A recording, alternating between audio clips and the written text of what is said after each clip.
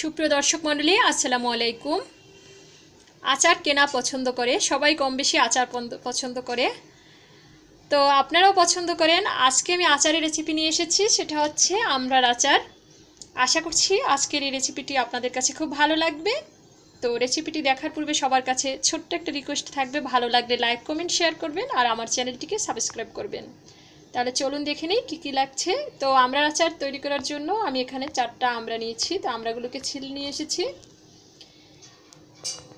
এরপর একটা গ্রেটার দিয়ে আমি ছোট ছোট করে কেটে নিচ্ছি তো আমি বড় সাইজের ছিদ্রগুলোতে আমি এগুলোকে ছিলে নিচ্ছি।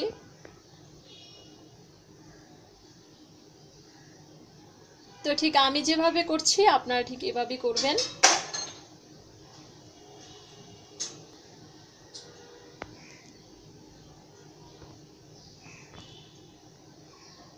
তো এভাবে ছোট ছোট করে কেটে নিচ্ছি। তো আমি এভাবে সবগুলো করে নিচ্ছি।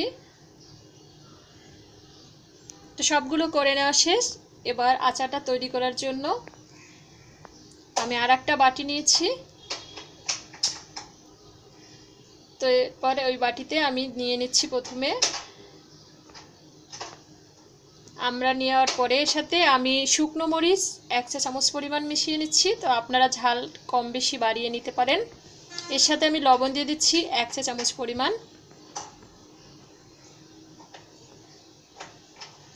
এরপরে চিনি দিয়ে দিচ্ছি দুই চা চামচের মতো। এরপর সব হাত দিয়ে আমি মিশিয়ে নিচ্ছি।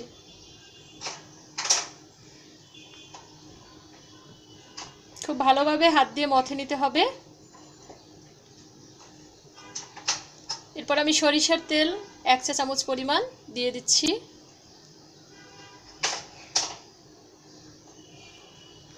তারপর আচারটা থেকে একটা সুন্দর ফ্লেভারের জন্য লেবুর রস, অল্প সামান্য পরিমাণে লেবুর রস মিশিয়ে নিচ্ছি। এতে করে আচারটা কিন্তু খুব সুন্দর খেতে লাগবে এবং সুন্দর একটা ঘ্রাণও আসবে। তো ভিওর্স হয়ে গেল আমার আমরার আচার। আশা করছি আজকের এই আচারের রেসিপিটি ভালো লেগেছে। ভালো লাগলে আবারও অনুরোধ থাকবে আমার চ্যানেলটিকে সাবস্ক্রাইব করার জন্য। ভিডিওটি দেখার জন্য সবাইকে অসংখ্য ধন্যবাদ। আল্লাহ হাফেজ।